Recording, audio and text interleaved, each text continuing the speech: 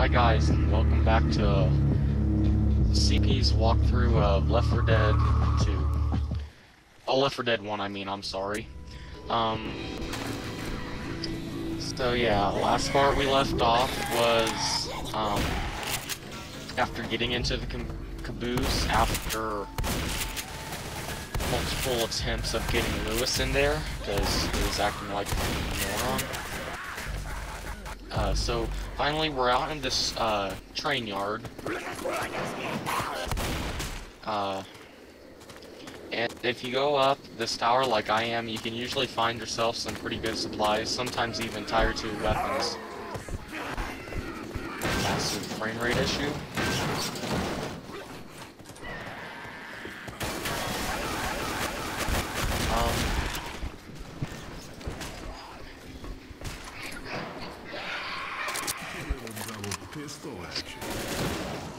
Um.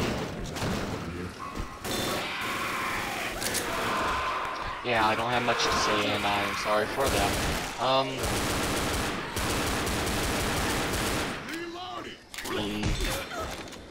Yeah, I don't have much to say.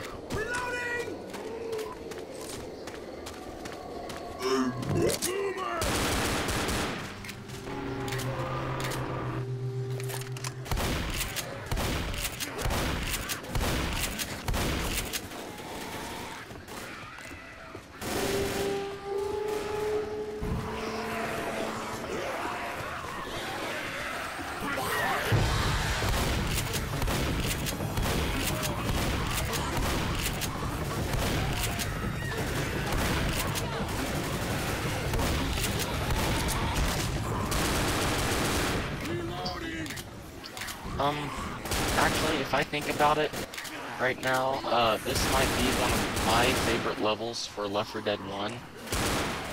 Which is kind of funny, because also, the same day I made, uh, I did this level, I did my most hated level in Left 4 Dead 2, and that's the first level of, um, Carnival.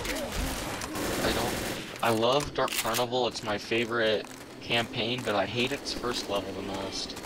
Yeah, and you saw a little cut right there, that's because uh, somebody called me and I had to take it. Here I am looking around for that witch who's just uh, hiding behind that bus, so I decided not to mess with her.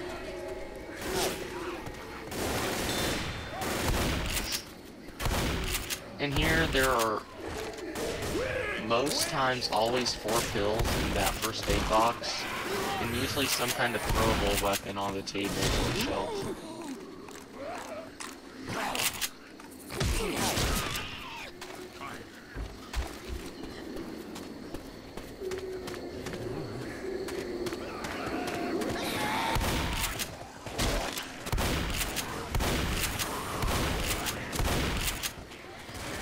Um, something, uh, I wanted to say, in Left 4 Dead 2, all that stuff, like the sound mods and the skins I have downloaded, are not made by me, but that tank, We Will, We Will Rock You, I did make.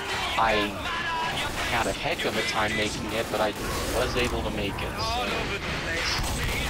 Um, I plan on making little tutorials like that stuff, so I might post one on how that. Holy crap, that tank is moving fast. I knew tanks move faster if they're on fire, but I didn't know that fast. Well, um, yeah. Also, I have a failed sound mod in this game. You might have heard, uh, like, all the times when I kill a boomer, there's a really low-pitched sound afterwards.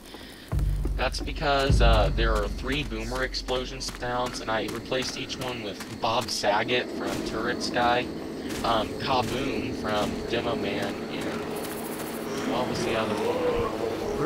Oh yeah, the WTF boom thing. I don't know what it, who it was by. It was made by that one guy, giant black lips and two eyes says I'm a fire in my laser, that of stuff.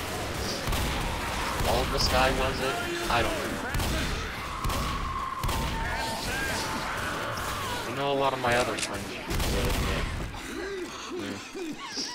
yeah. And yeah, this next part here is precisely the reason why it's my favorite level, because there's a crazy church guy uh, loitering in this church, and the backstory on this guy is he let someone in there who promised that he wasn't infected, and when he got in, he bit him, and now he's like freaking out that he's gonna turn in there, so he's not letting anyone in anymore.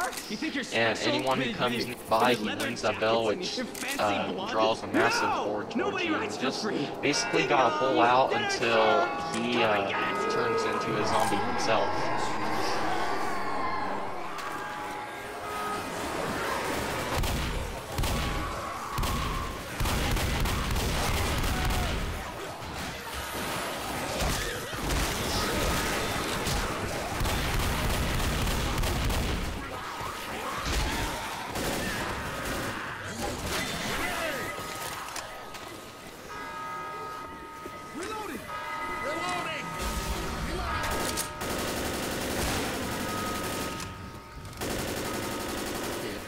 Silly Hunter, trying to hide behind him tombstone.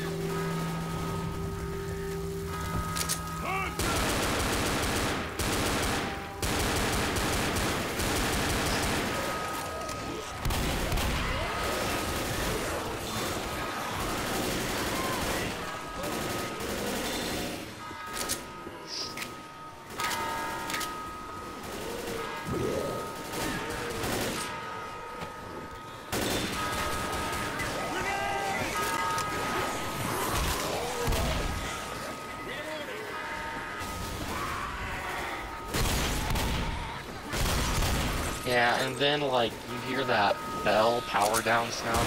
Then if you go up and listen to him, you can hear him saying "must be immune," "better safe than sorry," that kind of stuff, but in like a zombie tone voice. And at the end, you're just going to get a random special.